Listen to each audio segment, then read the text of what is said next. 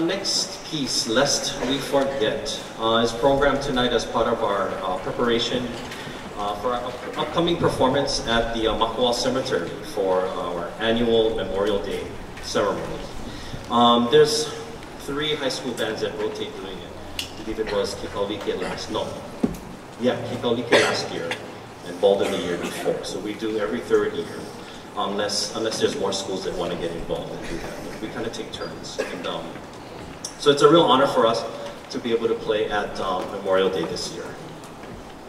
Um, so the composer James Swearingen reminds us, let us be forever mindful that while our great nation looks to the future, we should never forget the sacrifices and contributions of our heroes from the past. In Lest We Forget, you will hear musical quotes from some America's most well-known patriotic themes. Our next piece, Lest We Forget.